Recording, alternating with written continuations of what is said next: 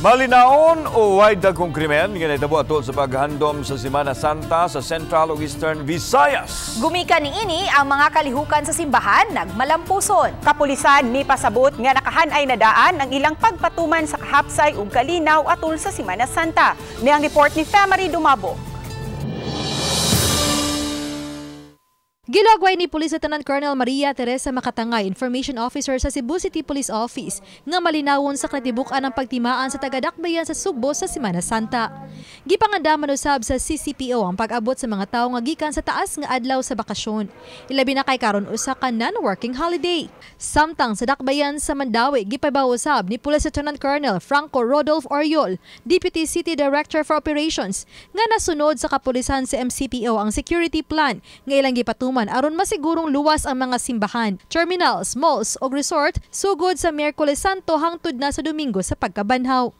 Samtang giulagway usab ni Talisay City Police Chief Lieutenant Colonel Randy Caballes nga malinawan ang pagtimaan sa Semana Santa sa mga Talisay noon.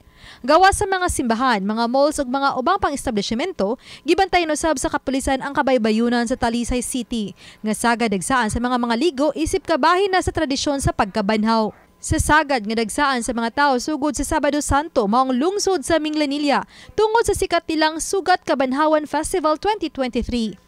Matod ni Police Major Arieza Otida, hepe sa Minglanilla Police Station, nga nagdasok gyud ang mga misaksi sa kalihukan nga gipaygayon sa Minglanilla Sports Oval. Apan giulagway sa opisyal nga malinawon sa kinatibuk-an ng Kabanhawan Festival.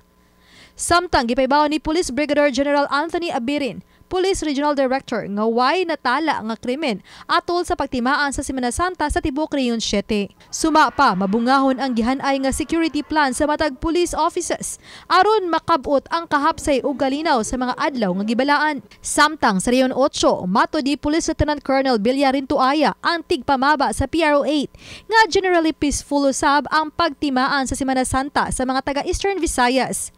Dugang ni Rintuaya nga nipadugang og 5,000 ka mga Police and Director sa PRO 8 nga gipakatap sa tibuok rehiyon. Uban ni Rod Prado, Femery Dumabok. Balitang Bisdak